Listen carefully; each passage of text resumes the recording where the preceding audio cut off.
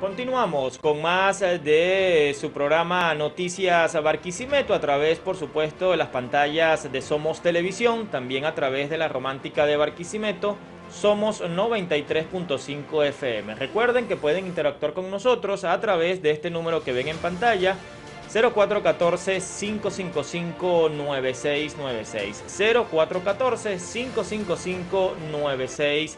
96. A esta hora vamos entonces con nuestra entrevista del día. A esta hora, la entrevista especial en Noticias Barquisimeto. Nos encontramos desde el estudio, acá en el Centro Empresarial Barquisimeto, con la licenciada Rosario Freites. Ella es psicóloga, especialmente en psicología clínica, egresada de la Universidad Yacambú. Bienvenida a esta también tu casa, Rosario. Hola, buenos días, Elisaúl, ¿qué tal? Muchísimas gracias por la invitación a este programa.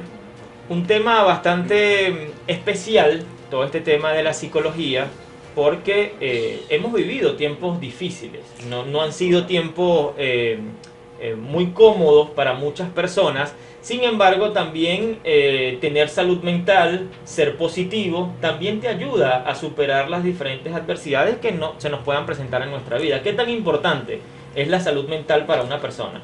Mira, muchísimo. Realmente eh, en los últimos años este, y en las últimas décadas eh, hemos visto la importancia que tiene la salud mental y la psicología dentro del bienestar de los eh, pacientes. Sobre todo en estos dos últimos años con la pandemia en Latinoamérica, ciertamente se ha mm, notado la importancia que tiene la psicología y el impacto que puede tener en la recuperación de los pacientes. Y hemos visto cómo somos seres biopsicosociales y la importancia de socializar y cómo esto impacta y cómo es indispensable para nuestra supervivencia.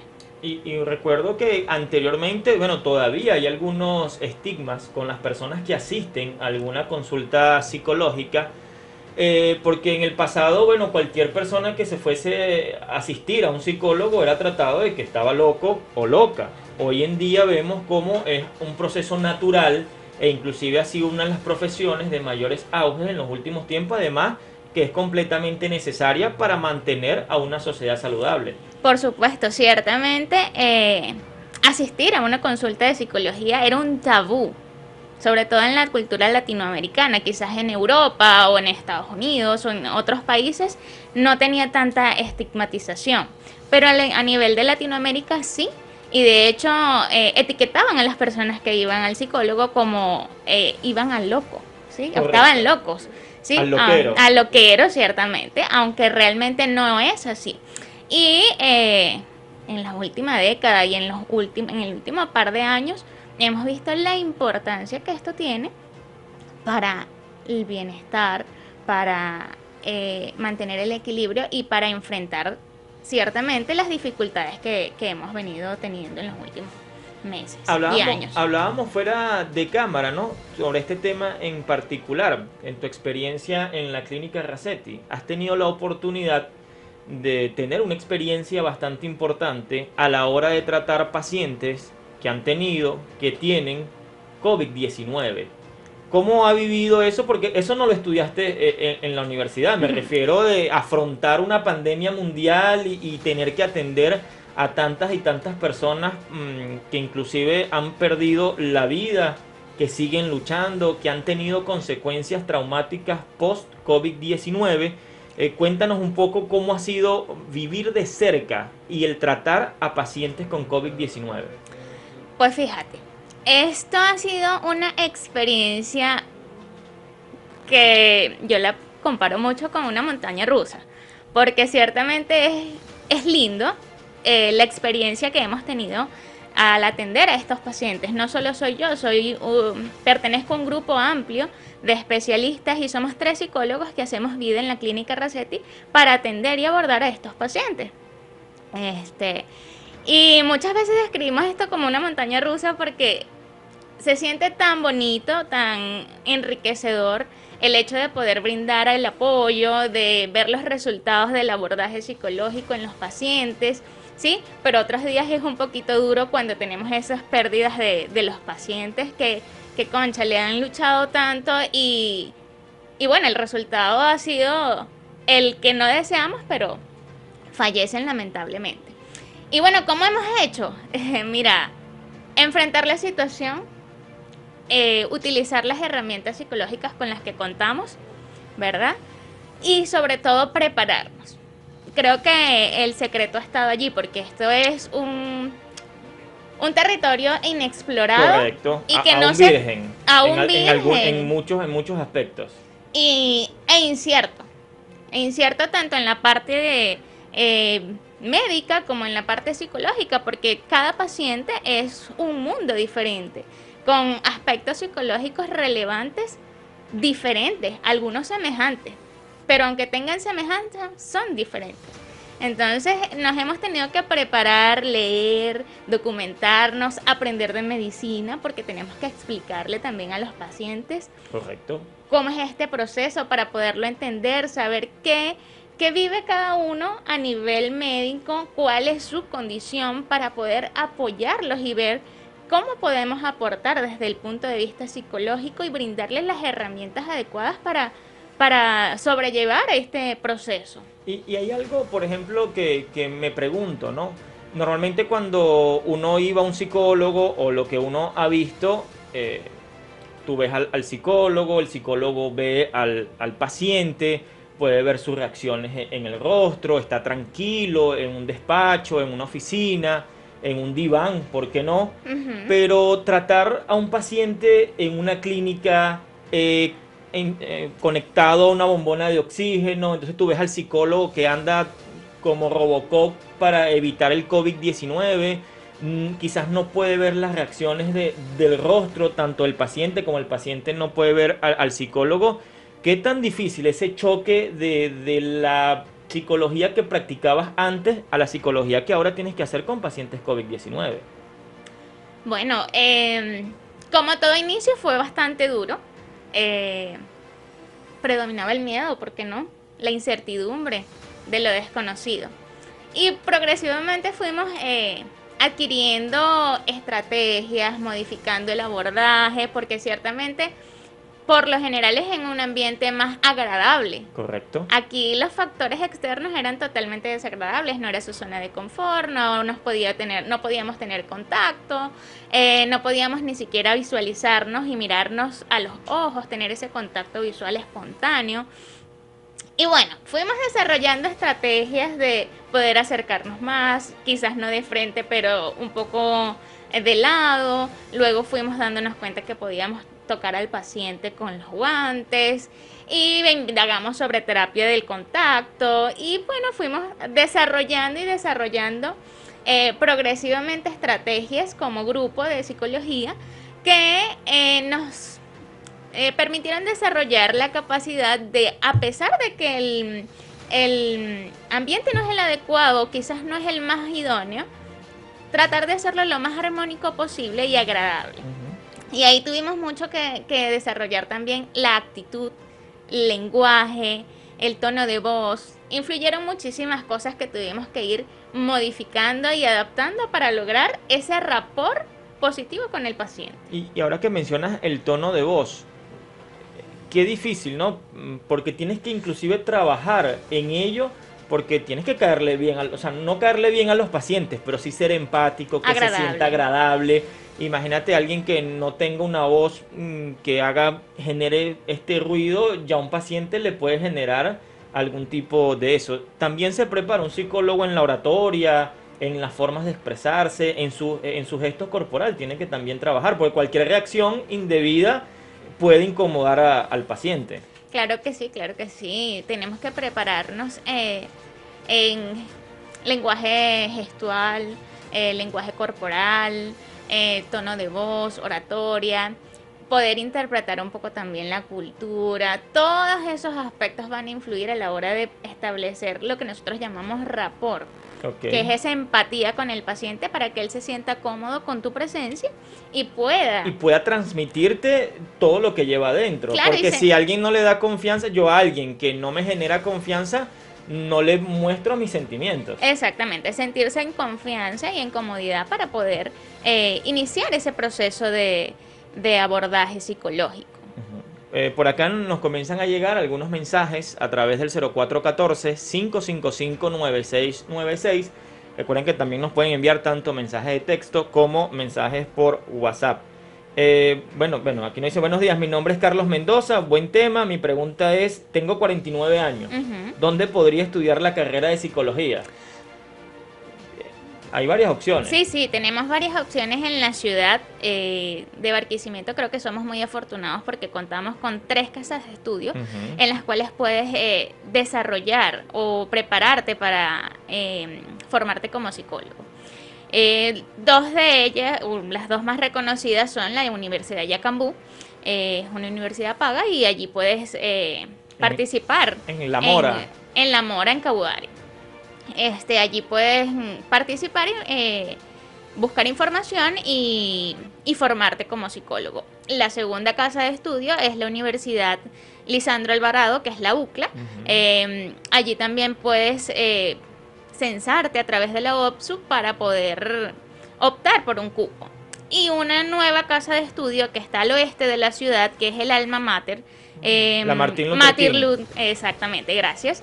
Eh, también está aperturando este proceso de formación de psicólogos. No sabía, buen dato. Cada uno de ellos obviamente los forma o em, salen formados de allí con una titularidad diferente, pero eh, cada uno tiene un abordaje diferente, todas son buenas y en cualquiera pudieses participar. Y fíjate, eh, me causa eh, curiosidad, 49 años, nunca es tarde para aprender la psicología. Jamás, ni para la psicología ni para cumplir las metas que tengas a nivel personal de formación. Jamás es tarde para eso. Cuando yo estudiaba en la universidad, recuerdo que tenía una compañera de trabajo que tenía casi 50 años y tenía más energía que nosotros y estaba más centrada y, tenía una madurez diferente a la de un adolescente y creo que 49 años es, es eh, una edad bastante interesante para iniciar una nueva meta, porque tienes otra madurez, otra cognición,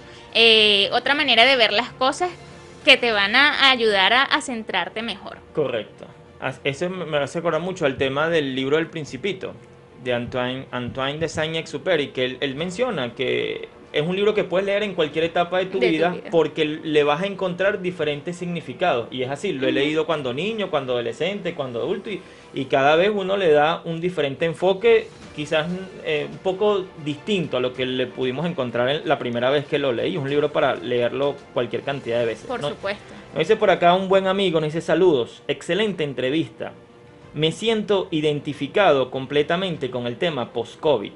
Me ha costado mucho incorporarme a actividades masivas. Me imagino que por temor. ¿Qué me, me puede recomendar la especialista? Bueno, mira, eh, podría recomendarte mil estrategias, ¿sí? Sin embargo, eh, ¿qué te recomendaría? Primero que seas valorado por un psicólogo que conozca sobre la, eh, la materia.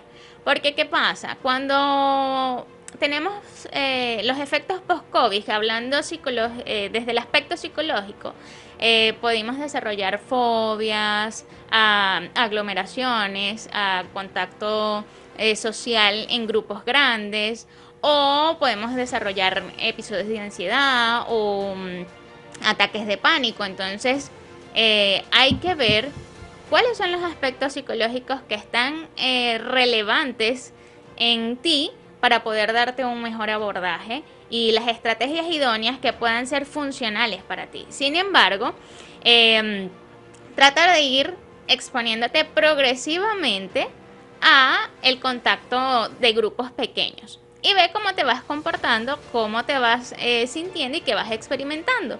Y en función de ello, poco a poco, progresivamente, te vas a ir incorporando a eh, tus actividades normales y a poder exponerte a grupos de personas eh, grandes. Igualmente pasa mucho con las personas que practican algún deporte, que han quedado con algunas secuelas post-COVID-19 y han tenido que reducir o prácticamente eliminar por recomendaciones médicas su actividad deportiva. Entonces eso también es un choque de unas rutinas y no solamente en el deporte. Me supongo que al cambiar tu estilo de vida puede afectar muchísimo la salud mental de una persona. ¿Cómo hacer ese enfoque con personas que tienen que cambiar ese estilo de vida de la noche a la mañana? Supongo que allí es cuando entra la opinión del experto, el especialista, para acompañar a la persona en ese proceso. Fíjate, em, en esto que mencionas, en este contexto que tú mencionas, es donde realmente es más importante la presencia de un especialista de la salud mental. ¿Por qué? Porque sencillamente el hecho de tener la condición de salud actual es algo que nos obliga a cambiar nuestro eh, estilo de vida, nuestra manera de ver las cosas y nuestras rutinas, ¿sí? Y eso es el primer impacto. Y nadie me preguntó si yo quería cambiar esas rutinas o si deseaba cambiar esas rutinas. Simplemente fue obligado y lo tengo que hacer y no obstante, mi condición de salud también está siendo afectada. Y esto eh, me limita a la hora de poder realizar lo que yo deseo. Y ahí estoy experimentando frustración, rabia, eh, desagrado. Entonces, ya ahí empieza mi malestar psicológico. Luego del post-COVID veo que me cuesta reinsertarme en mis actividades laborales o mis rutinas cotidianas y veo que estoy aún limitado físicamente y toda esta suma de emociones, de pensamientos rumeantes, de ideas sobrevaloradas van obviamente afectándome el día a día y pues me causan un malestar psicológico bastante importante, el cual debe ser acompañado, vuelvo y repito y, hago hincapié, por un especialista que realmente conozca y haya estudiado sobre el eh, efecto post-COVID. No todos los especialistas de, la salud mental tienen esa preparación. Allí igualmente hablabas algo, ¿no? Ah, hay muchas personas que le invaden pensamientos rumiantes, le llamabas, ¿no? Pensamientos negativos en líneas generales. Conozco, bueno, he sabido de personas que le da la enfermedad del COVID-19 e inmediatamente empiezan a pasar por su mente lo peor. ¿Cómo hacer para abordar a estos pacientes que, que clínicamente quizás se ve que pueden superar la enfermedad, pero son esos pensamientos negativos los que influyen al final en, su salud física. Claro, por supuesto. Cuando mm, hablamos de rumiación de pensamientos, es eh, ese constante pensamiento que está allí dando vueltas, dando vueltas en nuestro, en nuestro cerebro, nuestra mente, ¿verdad? Eh, y ciertamente, ¿qué es lo que hemos escuchado del COVID siempre? que es malo, que las personas se mueren, que no sabemos nada, que todo se complican. Todo lo que hemos escuchado sobre el COVID ha sido negativo desde el inicio. Y es, eh, es casi que imposible que una persona que padezca COVID no pueda sentir miedo si lo primero que se conecta cuando dicen el diagnóstico, cuando le dan este diagnóstico, es con estos aspectos negativos, ¿sí? Esta experiencia negativa que ha tenido. ¿sí? Y es bastante complejo poder desarticular o desarmar estos pensamientos de contenido negativo. Y hay que hacer una serie de estrategias psicológicas, este, cognitivas y conductuales que nos permitan ir mm, eh, modificando estos esquemas mentales, porque eso es eso, un esquema mental que se ha construido y que está muy arraigado. Y desestructurarlo a veces es sencillo y a veces es un poco más complejo, depende del de paciente, de las creencias que pueda tener y eh, de la disposición que pueda tener a modificar el mismo también. Yo, yo siempre me he preguntado, uno va a un médico, medicina interna, medicina general, y vas con alguna complicación, bueno, él te hace acompañamiento, te hace tu tratamiento médico, te da tus fármacos, eh, te manda a hacer algunos exámenes, qué sé yo, hematología completa, las plaquetas, una radiografía, listo, te está de alto, te está sano. ¿Cómo hace un psicólogo para dar de alta a un paciente? No, ya usted no necesita que vuelva más a, mi consulta. Bueno, en psicología es algo bastante peculiar, ¿sí? Porque a veces el psicólogo o el terapeuta no ha terminado de dar al paciente de alta como tal, pero el paciente ya se siente bien y deja de ir. Ok. ¿Sí? Suele pasar. Puede ser que vaya a una sola consulta y deje de ir y no quiere decir que esté bien o esté mal. Puede ser que el paciente no fue más porque simplemente encontró la respuesta que estaba buscando en la primera consulta o que no te no se sintió a gusto y definitivamente no no quiso asistir más. O se le acabó las citas por el seguro. Exactamente, ¿sí? Entonces es bastante peculiar en ese sentido, pero um, en psicología se va como por aspectos importantes. Ponte un duelo. Ok, claro. Este, Una pérdida. hasta, de, hasta de animales. Correcto, correcto, porque hay, hay duelo por todo. Cuando tú pierdes el bienestar que tenías que, que considerabas que tenías, por ejemplo. ¿Ok? Entonces, este, cuando podemos trabajar esas estrategias y mm, darle respuesta a ese aspecto que él vino a abordar, podría darse de alta. Sin embargo, siempre afloran otros aspectos importantes a trabajar. ¿No, ¿No te ha pasado que a veces te llega alguien, eh, a usted le decía doctora, me imagino muchos pacientes? Realmente salimos mm, titulados como licenciado, pero nos dicen doctor. o sea, es difícil que usted vaya a la clínica Racetti o Ascar, donde usted ve y la ven con su bata y licenciada, la gente le decir doctora. No sé cómo puedo llamarte yo, licenciada. eh, me imagino que mm, al llegar a, la consulta, muchos pacientes dirán, no, mire doctora, yo lo que quiero es que usted me escuche. También. Hay pacientes que simplemente van a hablar y hacer catarsis. en, eh, eh, eh, psicología eso se llama hacer catarsis. Este, cuando hacemos catarsis, y a veces el psicólogo solo dice un par de palabras, un par de frases y y el paciente se va feliz, y contento porque pudo ser escuchado sin ser juzgado, sin eh, ponerle etiqueta a lo que siente, poder contactar con sus emociones. Y, ese espacio que fue para él, para poder eh, desnudarse emocionalmente hablando, simplemente fue fantástico. Claro, un, safe place, un lugar seguro donde se sintió a gusto, sin prejuicios, sin, ningún juicio de valor y a veces, a veces ni tus amistades te pueden brindar ese tipo de situaciones. Y simplemente estar acompañado. Correcto. Así es. Dicen que las cargas compartidas siempre pesan muchísimo menos. Estamos con la licenciada Rosario Freites. Ella es psicóloga eh, con experiencia en los actuales momentos con todo este tema del COVID-19, también en psicología clínica. Y en la próxima parte vamos a hablar de psicología